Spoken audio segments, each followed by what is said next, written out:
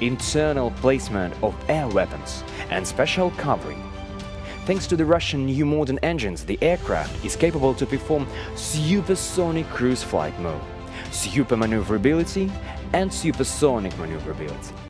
Rostec Corporation segment Ruselectronics has developed an artificial intelligence AI-powered radio system to boost the Russian Su-57 fighters' immunity to reconnaissance and interference. The cognitive radio comes with noise-resistant coding, improved cryptography, and real-time signal processing synchronization. The AI-based platform includes antenna matching and computing devices, signal processing units, error-correcting components, and a global positioning satellite receiver. Communications capability for fifth-generation aircraft. According to Rostec, integrating the system enables the Su-57 to transmit messages through different channels, increase connection stability, and improve the communication quality between the aircraft and ground support.